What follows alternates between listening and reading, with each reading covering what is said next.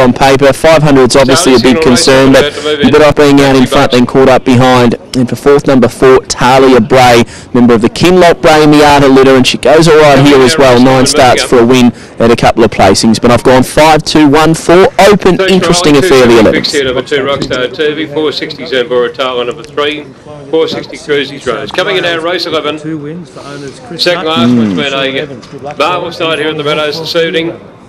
And it's 270 fixed number two, Rockstar TV. Set. Green light here. About to go. Set. Racing Rockstar Turvy to the inside began well. Loctite began quickly near the outside. Rockstar Turvy's going to drive through and lead around the first turn though. Uh, getting up on the inside there came Gay Jollo, second about five behind the leader, followed by Cruisy's Rose.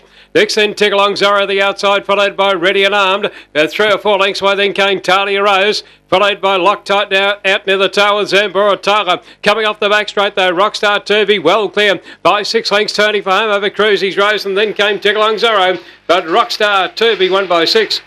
Second, Cruisy's Rose. Third up of the race there, Tick Along Zorro, followed then by Zambora Tara. Then Ready and Armed, followed further back here by Edna the tail of the field, Talia Rose, Loctite and Go Giotto.